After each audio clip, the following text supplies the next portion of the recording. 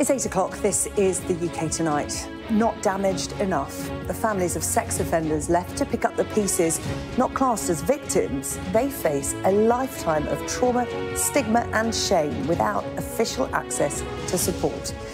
We'll take you inside Lincolnshire Police's online paedophile investigations unit, where officers say families desperately need more help. Also coming up, the government sets out new plans to cut legal migration after figures reached a record high. People from overseas will now have to earn at least £38,000 to qualify for a visa, and care workers won't be allowed to bring their families with them. It might bring down the numbers, but what will it mean for the UK's skills shortage? There could be new hope soon for nearly 3,000 people facing indeterminate prison sentences. Tonight, we'll hear Aaron's story he was sentenced to prison for nearly two and a half years, but has now served more than 18. His sister Cherry will be with me later in the show. And after a bitterly cold weekend, hundreds of people are still without power in Cumbria. We'll hear how a small community there rallied to house dozens of stranded visitors. And have you got Rizz? Not sure? Well, it's the Oxford University Press's word of the year. I'm going to be joined by Countdown Susie Dent to tell us what it actually means. All that's come and much more on the UK Tonight.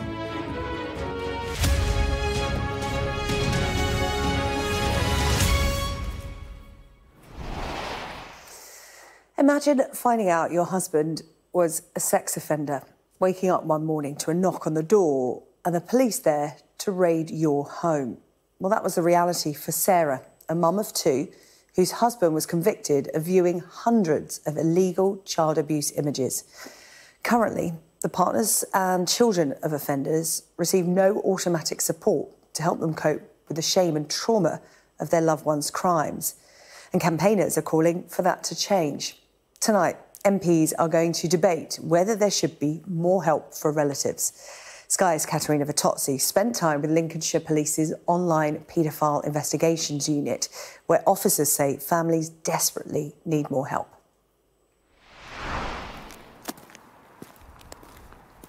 Two years ago, Sarah found out her husband was an online child sex offender. She had no idea what he'd been doing until police were at their door. He said, I've been arrested. And I said, What? What for? And he said, Images. Just said the word images. There was a lot of people talking to me. My children were crying in the living room. It was just chaos. The judgment was immediate, you know, people were judging us as a family. So it was it was just horrible. A year after his arrest, Sarah's husband was convicted of possessing over 500 indecent images of children aged 11 to 18. It would be easy to assume that her story is rare, but around 10,000 British families find out every year that a loved one is an online paedophile, and they live with the stigma of that offence with little or no support. The police on the day left some leaflets with my husband, not with me, for support for himself. I don't think we matter that much. The families we've spoken to for this report have told us about the stigma and shame that they face as a result of their partners offending. Many have had to move home, their kids have changed school for fear of reprisal attacks. But despite all this, they are not officially recognised as victims, even indirect ones, under the government's current definition. And that means they can't access things like free psychological support counselling under victim support schemes. The Ministry of Justice have told us that currently they've got no plans to change that and that there are enough charities to support the families that need help. But those who see every day what's happening believe that's not enough. We were given rare and exclusive access to Lincolnshire Police's online paedophile investigation unit known as POLIT. Hello, this is PC Scott from Lincolnshire Police. I believe my colleagues were around your house earlier. Uh, PC Tom Scott's only job is supporting families who've just found out the unimaginable. There is a likelihood that there will be bail conditions placed on him that he won't be able to sleep at the home address. And that. It's a role unique to police forces in England and Wales. I've been told by several families that if they didn't have this me or this role to go to, then there are times where they wouldn't be there anymore. There are lots of charities out there for domestic violence, drug addiction, these sorts of things. But for this, that is specific to this, where that recognises the trauma, the stigma that goes along with the offence, there's not as many. Why do you think that is? I would say the, the explosion in the offence itself, the volume has exponentially increased over the last few years, and we need to catch up. But there is no government or criminal justice mandate for there to be any automatic support from police forces, victim services, or local authorities. It comes down to funding and resources, doesn't it? So if I was being cynical, I might suggest that, you know, the government don't want to do recognise these indirect victims because it's going to cost more. And campaigners believe the price is families like Sarah's living with the shame of a crime of which they are totally innocent. And Katerina joins us now from Manchester. Uh, Katerina, MP's due to debate this issue uh, this evening. We're keeping across that here on Sky News. Uh, but this gives victims, well, they're not seen as victims, are they? But it gives the families of those who've committed these crimes some hope that it's getting the attention it deserves. Yeah, I think from speaking to the families that we have, speaking to the police forces and the campaigners, there's been a sense for such a long time that these families were unheard and unseen, and that stems from many families being told to isolate th themselves, to not speak to family, not to speak to friends, not to tell people at their work what their offending partner, husband, dad, or son may have done for fear of reprisal attacks affecting them as well. So it's taken a lot of work driven by people who've been through it, through campaigners, uh, to try and get the debate to this point. Now, what MPs will be discussing this evening is whether children specifically of people who have carried out these sorts of crimes or, or who are suspected of carrying out these crimes could be officially recognised as victims. And that would mean, crucially, that there would be automatic support from them from the moment of that arrest. You got just a flavour in my report of how life changing this is for partners, but also uh, for children of offenders or suspects of child online sex offences. So for there to be an automatic mechanism where they can obtain free counselling would go some way to try and address some of the trauma, some of the stigma that they face as a result of this crime. Because research has shown that in that moment, from the moment that the police raid a person's home, a partner's home, the children and the partner of that offender will face possibly levels of stress akin to post traumatic stress disorder. That is how serious it is, and that is what MPs will be discussing tonight. Katerina, thank you. Uh, earlier on today, I spoke to Heather. That's not her real name. Uh, she is another woman who had the devastating experience of discovering that her partner had committed online child sex offences. To protect her identity, we're not showing her face in this interview. Where could you turn? Where could you get support from? The police don't liaise with families. We're not witnesses. We're not victims we're not victims in the victims code anyway so they don't stay in contact with us children's services signed us off as a family within two weeks we were never given a, a social worker um, i was deemed good enough protective factor thankfully um, and they recommended supervised access only so even though my relationship with him had ended mm-hmm. he was still my children's father so you know they were just going to you know, he lived round the corner. How could I explain that he, they couldn't see him anymore and we bump into him in Asda, you know? So, so children's services didn't help me at all because they signed us off and it was kind of like, well, there you go, crack on, get on with supervised access. Um, and the, the practical, emotional and psychological ramifications of supervised only access is just so hard. Um, I don't think I don't think agencies realise how much that impacts family life. Well, if you scan the QR code on your screen, you can listen to the rest of that interview. It's on today's Sky News Daily podcast. It's been seen as a government failure the inability to bring down migration to the UK. It was a key Conservative pledge at the last election, and it's trebled to a record high since then. This afternoon, the new Home Secretary, James Cleverly, has outlined a series of new measures aimed at reducing the number of people legally moving to the UK.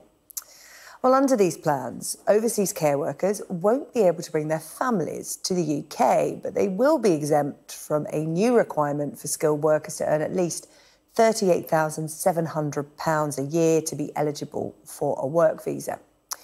Rules that allow foreign workers to be hired at 20% below the going rate are going to be scrapped, and rules for family visas are going to be tightened so that people have to earn more before their dependents can come to the UK. Sky's communities correspondent Becky Johnson has this report from Somerset. What do you want your coffee? Mm, coffee, drink coffee, yeah. That's tea. Femia applied for her job at this care home in Somerset so she could move to Britain with her husband and three children.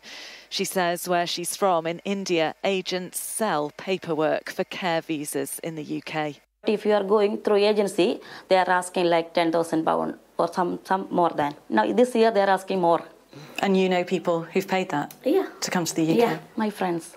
It's that kind of abuse and exploitation that the government wants to crack down on, as well as cutting numbers. But there's concern that banning migrants from bringing their families will make it much more difficult to recruit the foreign care workers needed to staff care homes and hospitals. I think there'll be an implosion of social care and possibly of the NHS as well. Why? Because I feel strongly that the majority of people will want to bring their dependents. Very few people want to leave young children at home while they're uh, trying to start a new life for themselves and their family without their family here. Lee, who came from South Africa to work as a healthcare assistant in Cambridge, says it wouldn't have stopped her. I would have still come to the UK because it's an it's more of a necessity that I can manage to take care of my family but it's also on a downside that I can't be with my children, I can't be with my family. It's, it honestly is something that is no human being can be put under that much pressure. The huge numbers of jobs that need filling mean health workers won't have to be paid the new, much higher minimum salary for skilled migrants. Other sectors, like hospitality, warn they'll be hit hard. But this overhaul of the immigration system is designed to cut record migrant numbers to appeal to the many voters who want to see fewer people coming to the UK. Becky Johnson, Sky News, Somerset. Hundreds of people across northeast and northwest England are still without power tonight after a bitterly cold spate of weather over the weekend. And although the snow is easing up, both the Met Office and the Environment Agency have several warnings in place for ice, rain, and flooding. There's a yellow warning for ice across northern Scotland and the Shetland Islands until tomorrow morning. And there is also a yellow rain warning in the northeast of England until tomorrow morning. Our chief North of England correspondent, Greg Milam, reports from Ulverston in Cumbria. They pride themselves on working through all weathers up here. Even so, this is the worst many say they've seen for a decade. And driving over the hillsides today, it was clear that what's left of that heavy snow continues to block roads to some rural communities. And digging out has begun for others. And butcher Peter Hutchinson preparing to make deliveries to those who can't make it out. It's a long time since it snowed like that. Yeah, a long time. But it was just regional, it was just here, you know, uh, Blackpool, which is just across the bay, there was nothing. The sun was shining on Saturday. Oh, yeah, just the same, yeah. It was just regional, it's just one of them things, you have to get on with it. But we're country people, so you just get on with it, and everybody helps where they can help. What makes me mad is people grumbling about the emergency services because, you know, they're doing their best. Because we're farmers, so we've got the gear to clear it out and everything, but anyone that's not is a bit stuck. And like electric's off.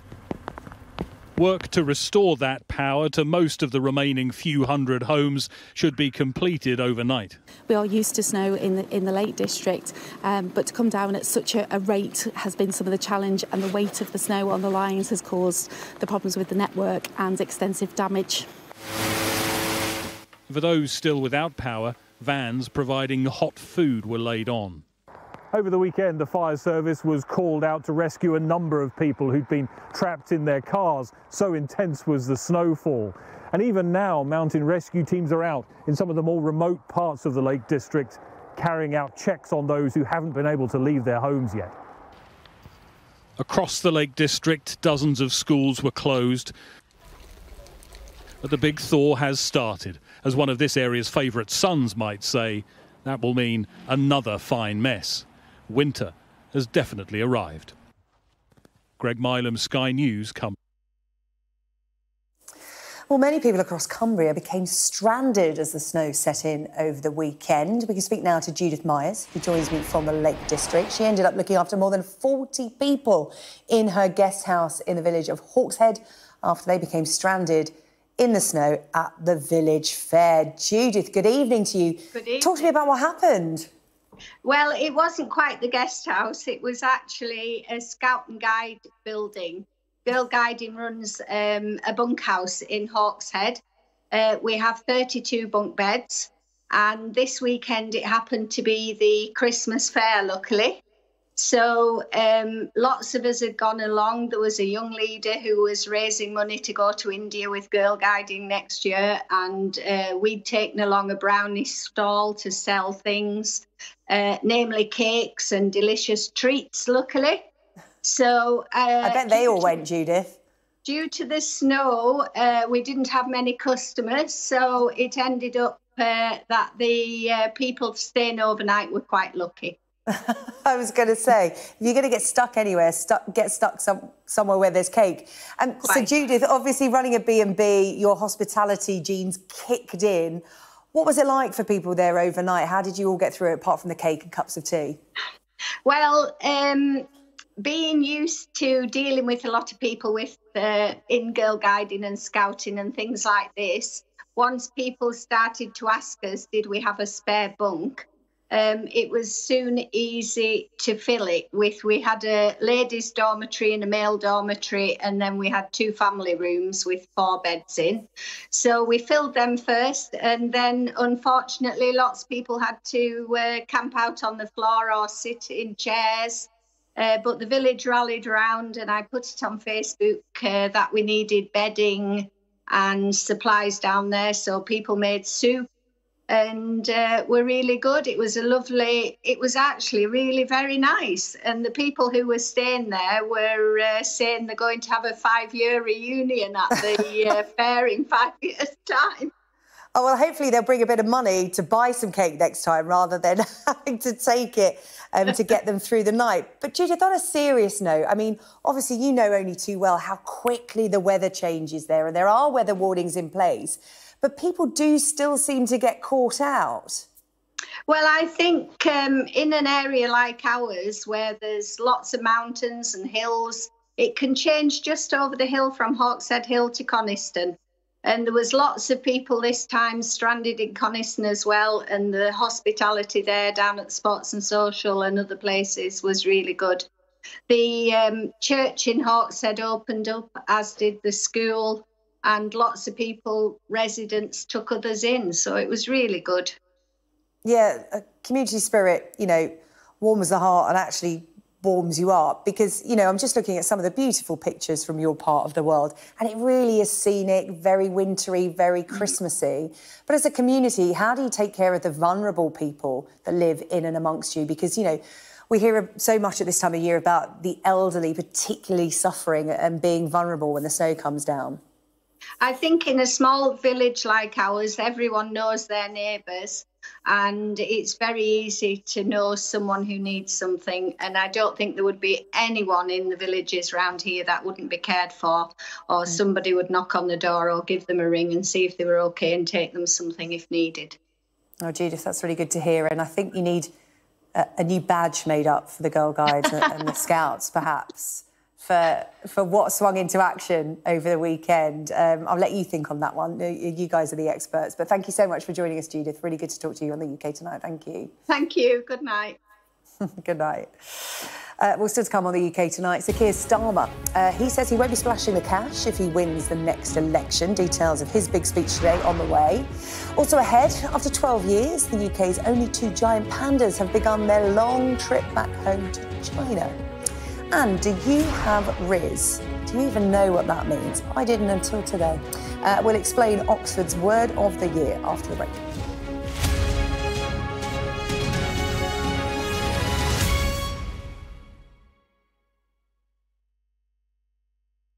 From this evening, I must give the British people a very simple instruction. You must stay at home. You must not meet socially in groups of more than six, and if you do, you will be breaking the law. There was no party, and that, and that no COVID rules were broken. The reason there's no evidence to show that uh, I must have known or I, I, I must have believed that uh, illegal events were taking place is because I didn't.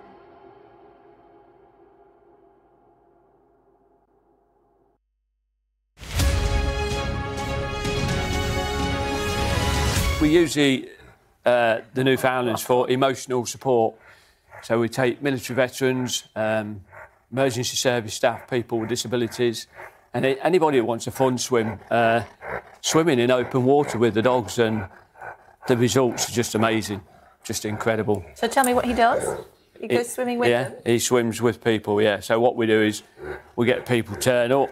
Whether we have six at a time, um, we get them in a wetsuit, buoyancy aid, dry suit, whatever. Um, we swim out 30, 40 metres.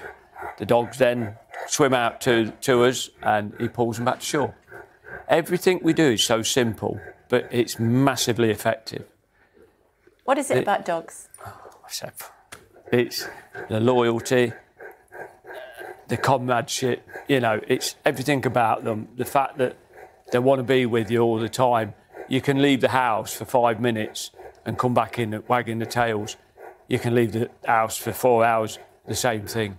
You know, they're just so pleased and so loyal and just brilliant. And, the- they the- calm people, don't they? Abs- he, these do. I mean, he's he's probably saved himself probably a couple of lives by his demeanour with people. So as you saw, then he puts his head on my lap. Now he tends to find people that are in a bad place, and he'll sit with them. Um, when we're actually in the water, um, and because we have people sat in the water with them, so we've got like a pat dog in the water with while they're waiting for their turn to swim. If someone's got a bit of an issue, he tends to find it, and he goes, he puts his paws on the shoulders and sits there with them and looks around, and that. It's fantastic. I'm Greg Milam, and I'm Sky's chief North of England correspondent.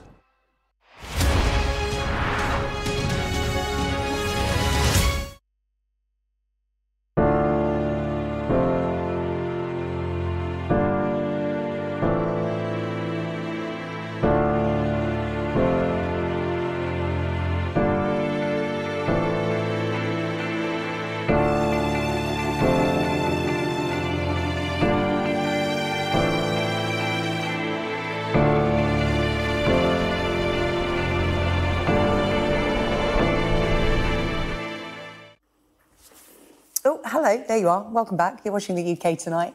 Uh, now, just before the break, we asked you if you knew what Rizz meant, spelled R-I double Z. Uh, the Oxford University Press has just named it uh, the word of the year. Uh, well done for those of you at home who know what it is. Uh, for those who didn't, like me, uh, Rizz is apparently defined as style, charm, or attractiveness, the ability to attract a romantic or sexual partner.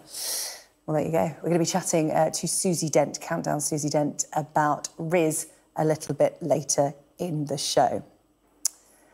Also coming up, could there be new hope for people facing indeterminate prison sentences? This is as MPs vote on an amendment to a bill to change the rules. And Sky has won the broadcast rights to a record number of Premier League football matches. We'll bring you the details shortly. Now, let's take a look at some of the other stories making news in the UK tonight. Investigators looking into a fatal explosion at a house in Edinburgh are focusing on internal gas installations.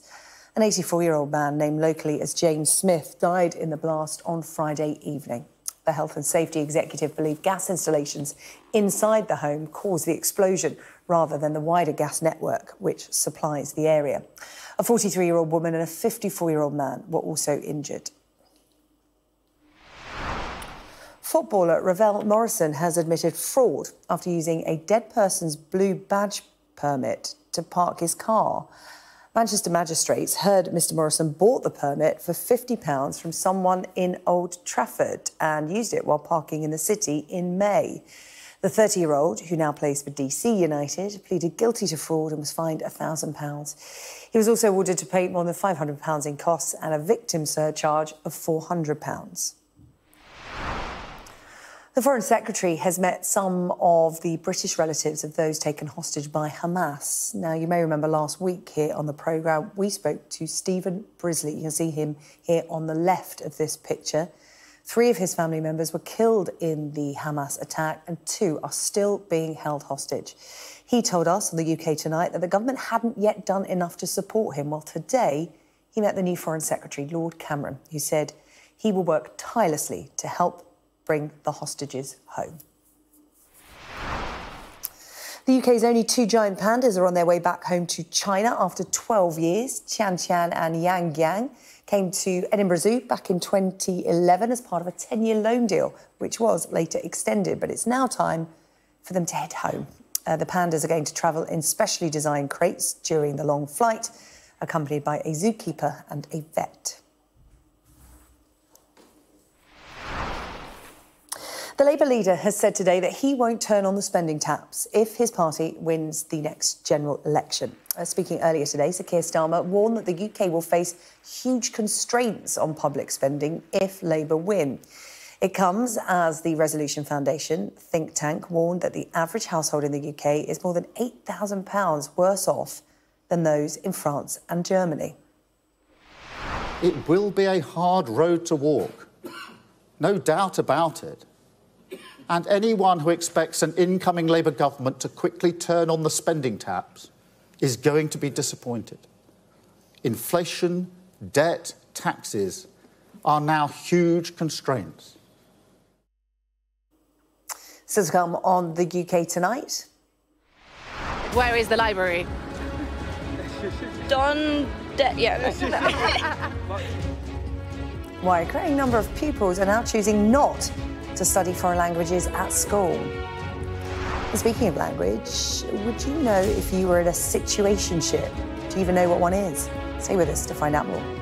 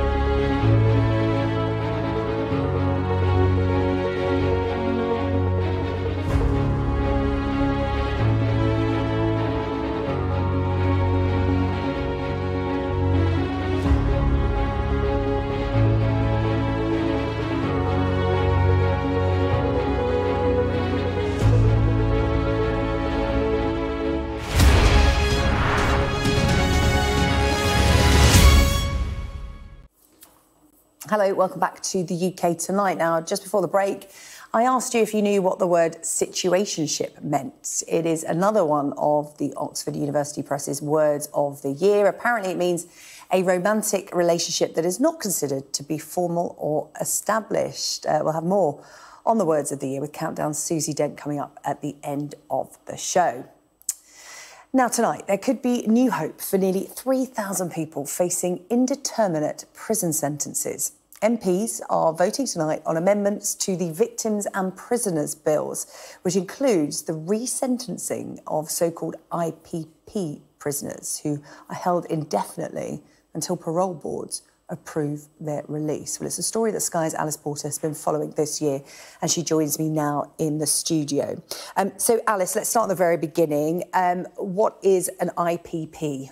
An IPP is imprisonment for public protections, and they were designed to be given to serious offenders whose crimes didn't warrant a whole life sentence. So you'd be given a minimum term that you'd serve in prison, such as two years but there'd be no maximums. It was entirely open-ended. And it was hoped that it would give a degree of flexibility uh, to see how somebody was progressing within prison. And they were really designed to be given to those serious offenders. The problem is they were ended up being given out far more widely than initially anticipated. And in many cases, they were given to people who had committed quite low level crimes. So, for example, we know of somebody who's been held in prison in this country for 11 years for stealing a mobile phone. Mm the government got concerned about this. In the end, they abolished the sentence in 2012. The problem is they didn't do this retrospectively. So that's why there are still almost 3,000 IPP prisoners in the country. And around 600 of them are, have been in prison almost a decade over the minimum term they were meant to serve. So this has led to a huge amount of outcry. We've had the UN Special Rapporteur for Torture. She has accused the British government of psychological torture in an interview exclusively with Sky News. Uh, and this has led to concerns within government as well. Uh, the Justice Select Committee last year, they conducted uh, a very thorough inquiry into the situation and their recommendation was that IPP prisoners should be resentenced. And I think really crucial to stress this, resentencing is not opening the doors. It would be going through each case individually. And there are some IPP prisoners who have been very dangerous and they would continue to be in prison. But there are other people who would make much more sense to allow them to have some hope to work towards being released because and we'll hear this coming from Sherry in a little bit but a lot of these prisoners have no sense of hope. And so unsurprisingly they have very poor mental health problems. Their suicide rate is more than two and a half times uh, the general prison population. And so Bob Neill who chairs uh, the select committee on this he has tabled an amendment today calling on the government to resentence IPP prisoners because Dominic Raab previously rejected those proposals. OK, well, that's all unfolding tonight. There's a debate and then a vote. We will keep across it here on Sky News. Alice, I know you're following this for us very closely. Uh, thank you. Well, um, one of the cases that Alice just mentioned there, uh, one of the people facing an indeterminate sentence is Aaron. Now, Aaron Graham was 26 years old when he was sentenced to two years and 124 days in prison for committing grievous bodily harm.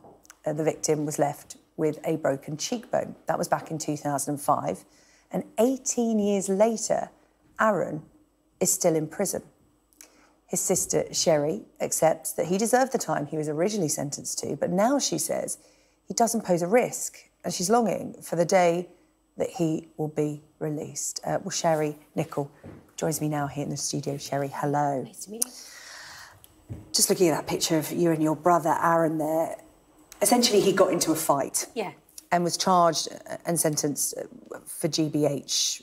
Just over two years was his minimum sentence, but as part of this IPP, there was no maximum. Did you ever think you'd be in a situation where 18 years later he is still in prison? Absolutely not. I don't think anybody would ever think they would be in that situation. Um, some, well, to say 20 years, he was on two years remand, so he's been in 20 years and it's just absolutely heartbreaking.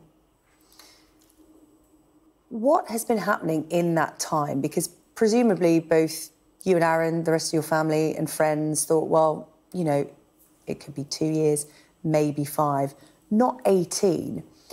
How has he tried to to get released in that time? What have you been doing? What have lawyers been doing? And what's what's been the blocker? What's been stopping his release? I just think um, like many IPPs, he hasn't had a voice. And there's been instances where he could have been progressed. Now he's done four years without a parole. So in that time, he could have been progressed. And it seems to be that, you know, all the time th- th- there's, there's new staff come in, or there's not enough measures, or there's not enough courses. It's inadequate. It's Mm. inadequate. So it was abolished, but it's all inadequate. And it seems to be that they're all forgotten and we're no further forward. Yeah, well, the government did see that this measure was inadequate, as you put it, so they abolished it. But there are over 3,000. Aaron is one who's still in prison. And you mentioned there about there not being enough staff, enough being not being enough courses, because if you're given an IPP, it's up to you to prove to the parole board Yeah. that you're not a risk to the public anymore. But in order to do that, you have to tick certain boxes, go go on courses Yeah. that prove that you're rehabilitated. Has Aaron had access to those, or is is that a gap in the system? Because you know, Alice Porter, I was talking to her earlier, and she said some prisons say we just don't have them here. We just don't have access Yes, to these they, courses. they do get shipped around. They don't always have the courses. Mm-hmm. But at the end of the day, um, if if obviously somebody's going on before them, they're not going to get on that course. Mm. And there's a certain tick, tick box exercise, as you were, but not Mm. one one size fits all. So you know, it's it's when they've done so long over tariff. Mentally, can they cope to do hmm. things? Is it realistic to keep punishing them and putting them through the courses and things like that? And then you've got it gets to parole, and then they decide you don't have to do this, you do have to do this. Hmm. There's a massive like confusion. Hmm. There's no clear understanding of what they have to do because the parole boards are so different all the time, or the, the the probation are different all the time. So it's like moving the goalposts they, they constantly keep for getting moved, and this what happens is the mental health deteriorates so much that they just can't cope, and you can't expect somebody to cope in an environment that's absolutely crucifying them. And this is why the re-sentence is, is so so important because it, what it does, it paints a picture of, of services working together to progress them. Then, then we wouldn't have this. Mm. It's just, we're just stuck in the mud. And it's like people like my brother, yes, he got into a fight, but he's been in there 20 years and he's sitting in a cell. He's sitting in a cell like 23 hours a day. How is that going to rehabilitate anybody? You know? What's it been like for him for the last 20 years? You've been with him every step of the way as much as you can be, of course. You know, how often do you see him? I try and see him um, once a month, always, and come up to Christmas because he's spending another Christmas, you know, and birthdays. Um, I see him as much as I can because and he what's needs the change support. been in him in the last 20 years? Because obviously, you know, he did commit a crime. Yeah. He expected to serve time. You know, that's an accepted fact. Yeah. But over the last 20 years, what's what's been the change? Well, you what's mature. done to him? He was tw- in his twenties when he went in. Mm. He's now forty-three years old. You know, he's sitting there as a man, and he's done a lot of inner work on himself. And you know, he's sitting there reflecting. He's, he's, he's overly punished, like many of them. And you know, as I'm sat here, I'm lucky that he's still here. To be fair, because there has been, you know, nearly 90 suicides because of it. And I don't want the reason why I campaign like I do, and, and many of my friends, I don't want to lose my brother. So, you know, it's I, I, I, admire him for his strength because I don't know if, I don't think I could do it. Well, look, he's very lucky to have a sister like you who's giving him a voice. But it's hard. yeah, I would imagine it is. It's been, you know, 20 years that, that you've been talking about this and, and campaigning more recently. What do you want to see come fr- from tonight? Because MPs are debating it within the next half an hour, voting on it. Why is it so vital that resentencing happens for those around 3,000 people on IPPs? because we want to prevent further suicides. We want the mental torture. There's they want to free up prison spaces. Well, there's people in for petty crimes doing doing a life sentence. Um, if we, I mean, I said this like months ago before this was even implemented, and and Sir Bob Neill's done an amazing job, and it's really stressful for him to be on front line and take that responsibility. But what I would like to see is a resentence, and it doesn't mean let's open the floodgates and let everybody home. It means that we're actually doing something about it and taking responsibility.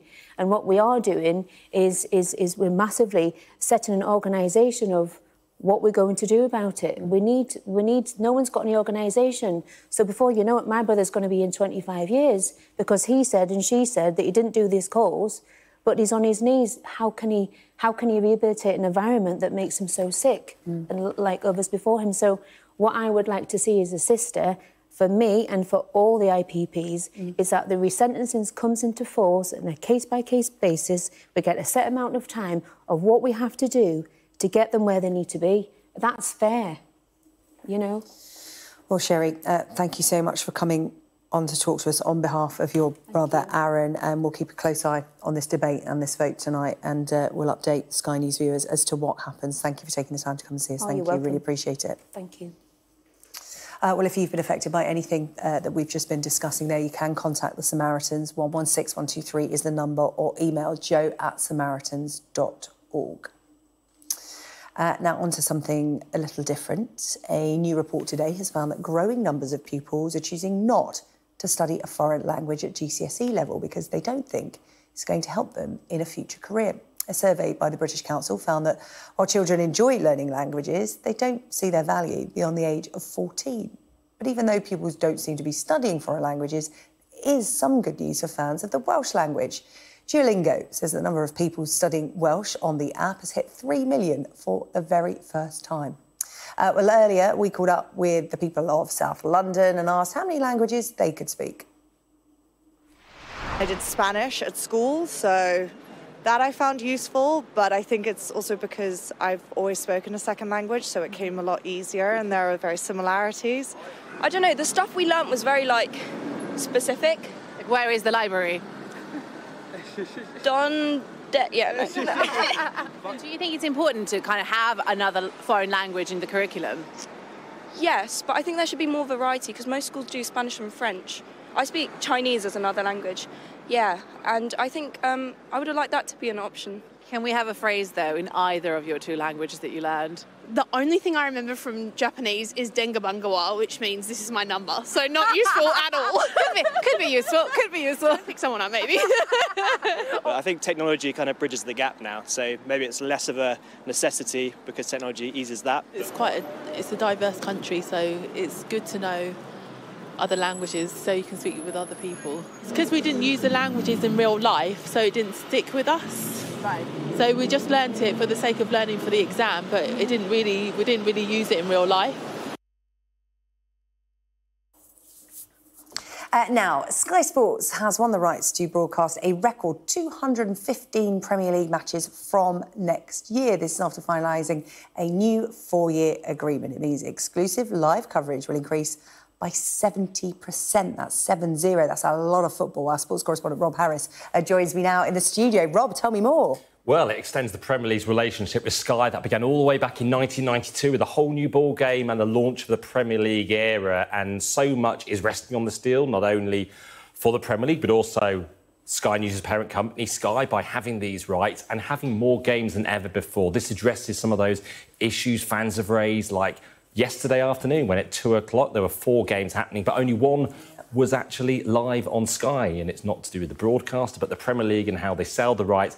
Now, the only matches that won't be live in this country will be in that three o'clock Saturday blackout window with TNT, owned by Discovery, holding the other package. But what the outcome of this is that Sky will have most of the rights, 100 more games per season with the, these deals, including every game on the final day of the season. And Financially, how does it impact things? Well, this deal is worth over four years, £6.7 billion, which is only up 4%. Perhaps the clubs would wanted more to spend on transfers, but it means for Sky in particular and TNT, they'll weigh that when it comes to subscription costs. Yeah, a lot of money for a lot of football. Rob, thank you. Uh, coming up on the UK tonight, uh, we're going to stick with football. Uh, could we be about to see the first managerial sacking of the Premier League season? Uh, we'll be talking changes at struggling Sheffield United. And do you know where a Swiftie is? Of course you do. Uh, it is not this. Uh, that is very much not a Swiftie. Um, We'll tell you what it is. Of course, you know. Uh, it's one of the words of the year. Find out more after the break with Countdown Susie Dent. Even I know what a Swiftie is.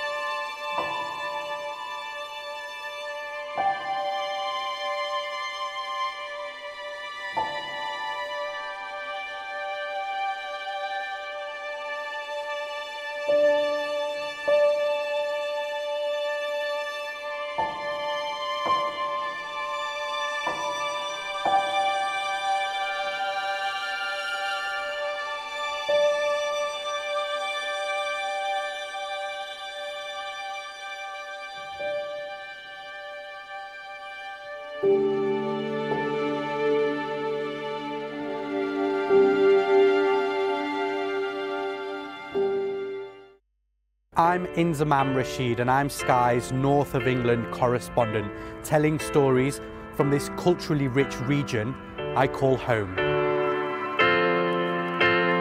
It's going to become very similar to other places and lose its unique qualities. It's steeped in history. If the Taliban found your family, what would happen? I think they're just going to straight away execute them. There are issues of racism in all levels of cricket. I was on the balcony a couple of times. I was nearly gone. Football is a joy to watch, and uh, when people are disappointed, you can feel the hate. I just felt physically sick because I was like, that, that's really in my system. We take you to the heart of the stories that shape our world. Even before the pandemic, GPs were pleading for help. Government expects more face-to-face contact with patients in return. Men, they want to force you doing something which you don't want to do. Just because you're homeless and you're looking for a warm place to sleep. We give a voice to communities often unheard and unserved from a region with a distinct history and global impact. Hello, welcome back to the UK tonight. For the break, we asked you if you knew what a Swiftie is. I mean, hang on tight. I'm sure you know this one. Uh, but we'll be joined by Countdown Susie Dent to explain what a Swiftie is and many other words. Uh, they're all words of the year from the Oxford University Press. The official top word of the year is Rizz. I'm looking at Nick Powell, who's here with us. Well, do you know what Rizz is? I didn't until today. No. There's no shame if you don't know. Uh, Swiftie rings a bell. Yes. I did. Um, I, we showed a, a, picture of the Sheffield United manager earlier talking about Swiftie, and I did him a disservice by saying that's nothing to do with Swiftie. He might be a Swiftie, uh, but he might be moving on swiftly. Yes. Uh, it sounds from all our sources as though Paul Heckingbottom is going to be sacked, and he's going to be the first Premier League manager lose his job. It's only the fifth time we've got to this stage, December the 4th, mm. since the Premier League was started 30 years ago, that we've got this far without any Premier League sackings. So I think some clubs are just looking to be a bit more cautious. It costs a lot of money to sack a manager mm. and all his assistants and bring in another one with all his assistants. Still saying his, the, the day when it is maybe hers will come. Yeah. Um, and you know, are we're going to do better with anybody different. But Sheffield United finally have decided that after one win so far in 14 games this season, and that was by an injury time penalty, um, the time has come to, to get rid of Paul Heckingbottom. By the sound of it, not confirmed yet, but that all our sources are saying that is very, very imminent. Yeah, it's been talked about all day, hasn't it? We were hoping we could get to a record after Christmas without uh, getting rid of a Premier League manager, but he could be the first to go. Talk about who could replace him already, as is the nature of these things? Well, it's going to be Chris Wilder by, by all accounts, okay. who is the man who um, famously took up Sheffield United from the third tier, League One, up into the Championship, the second tier, and then up again into the Premier League, and then finished in the top half of the Premier League by playing a very adventurous, um, different, innovative style of football, innovative tactics. Um, and it sounds like he is coming back in, but it's a really stiff task. They're, they're at the bottom, they're struggling, they've got a transfer embargo, they haven't got very much money. It's going to be tough. Yeah, OK. Nick, what else is coming up? Uh, well, let me tell you what else is happening because there's news from Manchester United today as well. This Sky News Sports Bulletin is brought to you by Vitality. Getting more people more active. Live life with Vitality.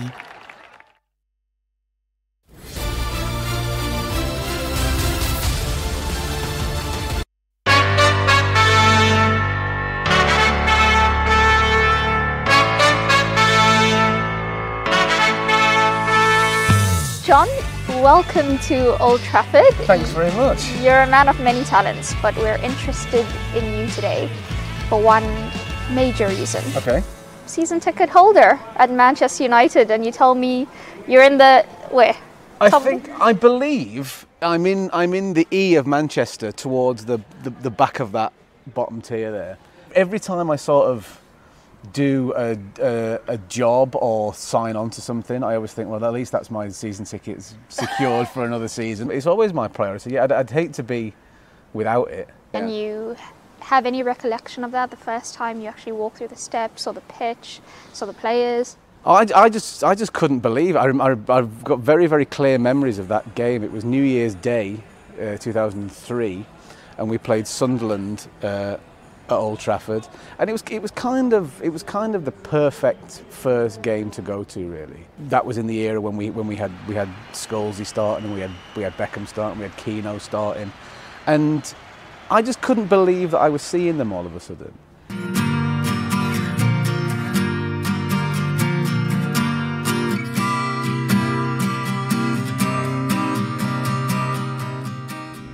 So this is David Beckham asking you for a picture. Look how happy he is to be posing with you. I know. and, and, and, the weird thing about it was that, you know, in Dave, David Beckham's not somebody who maintains a look for very long. I don't know how long he kept that for, but. I... This Sky News Sports Bulletin is brought to you by Vitality. Right, let's take a quick look at the weather picture. Warm memories wherever you go. The weather, sponsored by Qatar Airways. It's turning unsettled and a bit milder, but there will still be some wintry conditions around over the next couple of days. It's going to be windy this evening, gales near southwestern coasts. Central and southern Britain, rather murky with outbreaks of locally heavy rain, but there'll be just a scattering of mainly coastal showers elsewhere. Southern Scotland and the southwest of England will see cloud and rain giving way to a scattering of showers overnight while the rest of England and Wales will remain overcast with increasingly patchy rain. Most other places looking clear with just a few coastal showers, but eastern parts of Northern Ireland will be wet for a time. It's going to turn frosty in the north and the west. England and Wales will see the last of today's rain fading tomorrow morning with sunny spells developing in the north and the west. But eastern parts will see a scattering of showers moving in. Most other places will be fine. The weather, sponsored by Qatar Airways.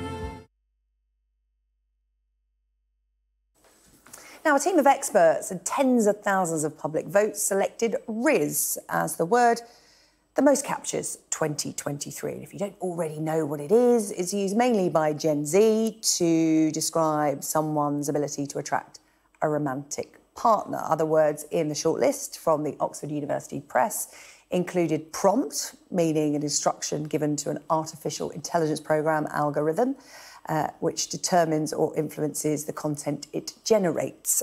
Uh, in other words, situationship, which means a romantic or sexual relationship that's not considered to be formal or established. And Swiftie, you know this one, you kind of escaped it. It means an enthusiastic fan of the singer Taylor Swift. Lexicographer and Countdown's very own Susie Dent joins me now.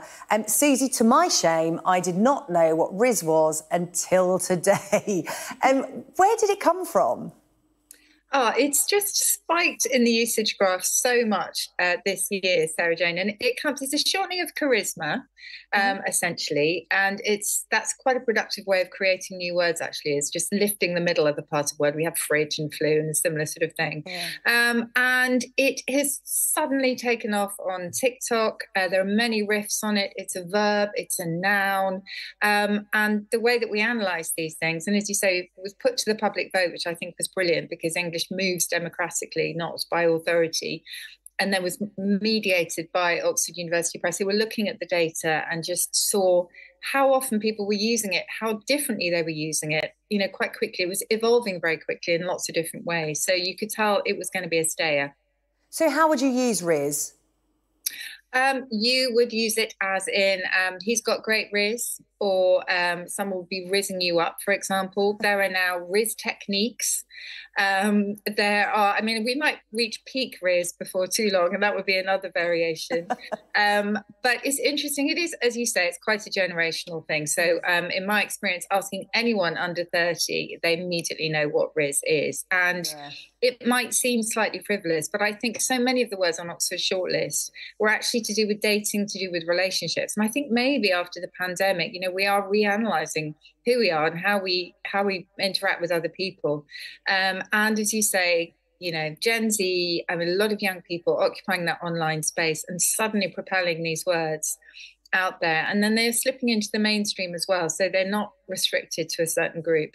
Yeah, I know you love the evolution of language, Susie, and you also like talking about words that have fallen out of fashion as well. Yeah. I want to ask you a bit about that. But having had a look at that list that's come out today, Rizz, of course, topping it, was there anything on there that you particularly liked and why? I really liked Parasocial actually, and mm. um, again, I'm not sure how well known this would be, but it really did um, show up on our graphs.